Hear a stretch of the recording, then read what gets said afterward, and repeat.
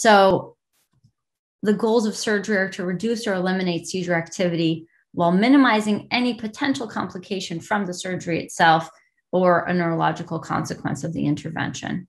So now I'll talk about some of the surgeries um, that we use in epilepsy, and later in the talk, I'll, I'll delve into a little bit more detail about each one of them. I like to sort of categorize them as either palliative or definitive. Um, the goal of a palliative procedure is to reduce the number or severity of, of, of seizures. Whereas the goal of a definitive procedure is to cure the patient of epilepsy. We don't always meet that goal, but that is the goal if we embark on one of these um, treatments uh, in this column. Um, and nonetheless, when we don't meet that goal, we still um, more often than not attain a worthwhile uh, reduction. The procedures here highlighted in red are those that are applicable to temporal lobe epilepsy, which we'll discuss today, and the ones in black are um, actually much more, much less common, um, and uh, and kind of outside of the scope of of our talk today. So, thinking about temporal lobe epilepsy, um, our major workhorse here is the temporal lobectomy, um, at least historically, and uh, and it is the most common surgical procedure we practice for temporal lobe epilepsy uh, by far, and it's also the procedure we have the most rigorous data for. Um, you can see here at the top of this chart um, that there are two randomized controlled trials um, when thinking about uh, temporal lobectomy uh, for temporal lobe epilepsy. Prior to these randomized controlled trials, you know, uh, sometimes people would think of uh, temporal lobectomies and epilepsy surgery as you know something that was was was was was some didn't have a lot of uh, good data driven behind it. But here what we can see is um, of these uh, in this 2001 study um, by Wiebe et al uh, 40 patients were included in the surgery arm and 40 patients were included in the control arm. And um, 58% of patients who underwent temporal lobectomy achieved seizure freedom, compared to uh, 8% of patients um, who just received standard medical practice. So clearly, it's a very significant difference. And um, of all patients in the surgical group, even though they didn't all achieve seizure freedom, 80% um, derived a substantial benefit from the procedure. Um, when you look at our second RCT, Engel et al., smaller numbers, this was actually um, prematurely closed because of enrollment issues. But 73% of patients um, in the surgery group achieved seizure freedom after temporal lobectomy compared to none of the controls. And 100% of the patients achieved a worthwhile reduction in seizures. Um, so, those are the randomized controlled trials. If you look at just large meta analyses, it really corroborates this kind of um, data that we have. Uh, when it comes to uh, um, looking at surgery arms versus the control arm. So, what are the cognitive consequences um, of, of uh, epilepsy surgery? Because that's what we most fear. Um, oftentimes, we're doing uh, resections of tissue. Um, we spend a lot of time thinking about um, the viability of that tissue and whether or not a resection of this area of the brain will cause any sort of um, uh, uh, alteration in cognition. Um, but if you look at the large kind of cohort of patients when we analyze their neuropsychological data, uh, we see that there are both gains and losses um, in, in patients. The vast majority of patients will probably not experience much of either, at least not notice it. Um, but if we if we if we do very rigorous neuropsychological testing before and after, um, we do see, particularly when we intervene in the dominant hemisphere in the temp- dominant temporal lobe, we can see losses in verbal memory. Um, that's really kind of the biggest, most feared complication. And now we have a lot of interesting options in the realm of neuromodulation, which are uh, often not definitive, but palliative procedures, but allow us to circumvent this potential um, side effect. Also, uh, similarly, uh, in the dominant hemisphere, we can see decreases in naming and uh, usually in the non-dominant hemisphere although in this study they really kind of looked equal we can see some um, decreases in visual memory although it's important to look at the other side where we also see gains uh, in visual memory for those patients who have been treated um, things that don't tend to be affected are things like IQ and executive functioning. Um, again, we see gains and losses when we look at neuropsychological data before and after. Um, and things like attention and verbal fluency actually tend to improve um, after a, a, procedure like temporal lobectomy, really often um, ostensibly because we've now controlled the seizures and, uh, and, and, and usually can get patients after a period of time off of their anti-epileptic medications as well. Um, self-reported cognitive declines are rare in only 9% of patients, um, and cognitive gains are more common um, in 18% of patients. So it really is a balancing act, um, and it's important to understand, you know, the dominance of the hemisphere that we're operating on. Nonetheless, despite the fact that uh, epilepsy surgery can be extremely effective and uh, can really provide a, a, cure for um, a portion of patients, there still remains a lot of hindrances towards referral of epilepsy patients to epilepsy centers. Um, a study was done about this, you know, querying why, and it's really a lot of times, actually, unfortunately, a lack of awareness of clinical practice guidelines. Um, these patients oftentimes will stay um, being treated by their general practitioner or often or a general neurologist, um, maybe never actually get referred to an epileptologist um, or or an epilepsy center, and can really go um, a lifetime sometimes without um, achieving seizure control. So we we want to avoid that.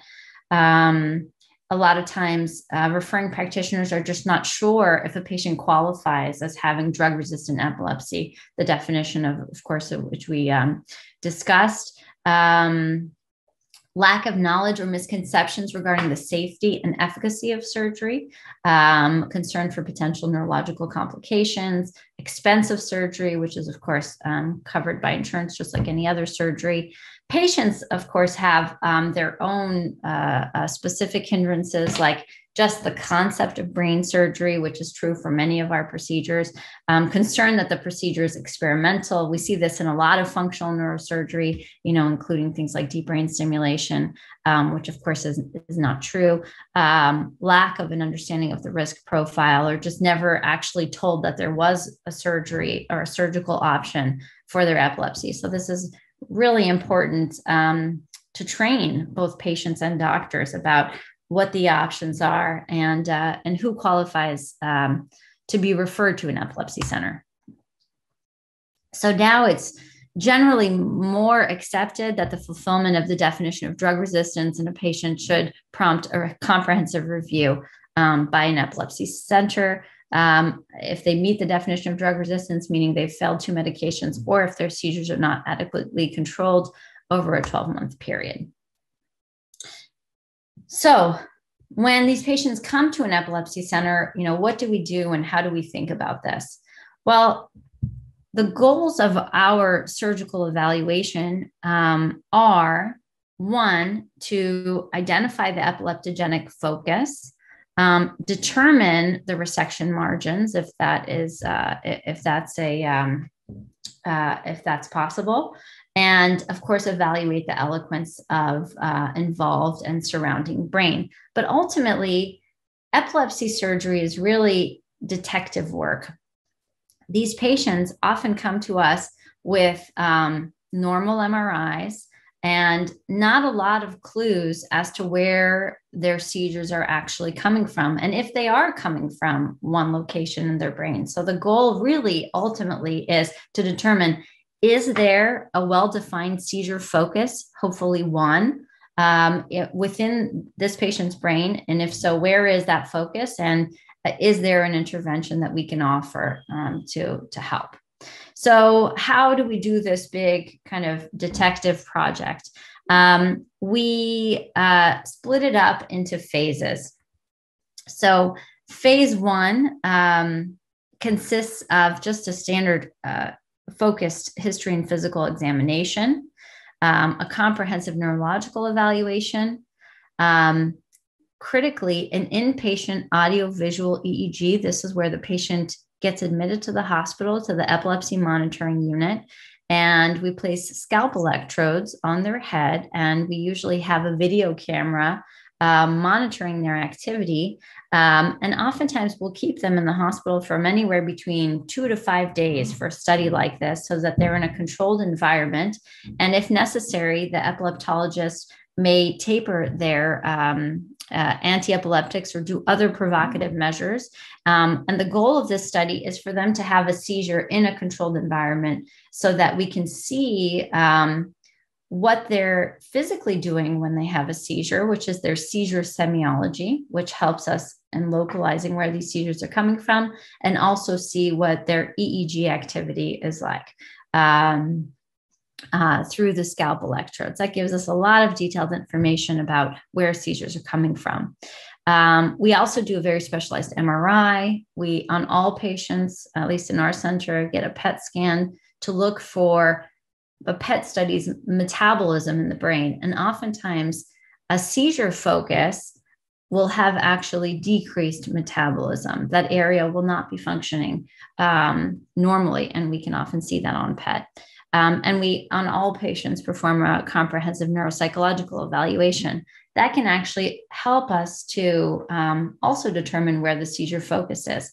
For example, if a patient um, has a lot of naming or verbal memory dysfunction, that may localize their seizures uh, to the dominant hemisphere mesial temporal lobe. Um, that all of these things just provide us clues um, that we try to synthesize to create a plan. Phase two, the, the numbers of these phases can be confusing. They're actually different in different parts of the country. Phase two, I actually like to call phase 1.5. Um, it's a more specialized and more invasive testing, and this is only testing we do if necessary. Ictal SPECT, I'll talk about in a little bit, functional MRI to lateralize language uh, dominance uh, and perform other things. Um, a WADA test and MR spectroscopy can all be, as well as MEG, magneto, magnetoencephalogram, can also be used as sort of additional measures to, uh, to help us understand where seizures are coming from. Um, phase three, which is also known as phase two, is intracranial EEG evaluation, and phase four is a treatment plan, which may or may not be surgical. A patient might undergo this evaluation, and we might say, hey, we really don't have a good surgical option for you. Um, so that's important when considering starting the workup. Um, so again, phase one, we discussed audiovisual EEG monitoring, assess the semiology. Um, we do an epilepsy protocol MRI, a PET scan. You can see here on this PET scan, we're looking for hypometabolism. So this is a really nice picture where we see that uh, the right side here um, has decreased uptake compared to the left side. And that can be a, a really nice clue as to where seizures are coming from. Um, and then neuropsychological text, testing here in phase 1.5, sometimes known as phase two. Um, ictal uh, SPECT is done really at only uh, specific, really in specific centers. Um, SPECT, as you may know, is single photon emission CT. It utilizes a tracer to look at regional blood flow. And the way we do this test actually is to bring the patient into the hospital for the audiovisual EEG. And immediately at the moment that their seizure starts, we inject um, this tracer uh, and then send the patient down for a scan. Um, we take the ictal SPECT, um, subtract the inter-ictal SPECT, and then we uh, can sometimes, if the study is done well, um, see the focus of, of activity where the seizure started. Um, and I won't go into a lot of detail about these other tests, but happy to answer. Any. Everyone, Ryan Rad here from neurosurgerytraining.org. If you like that video, subscribe and donate to keep our content available for medical students across the world.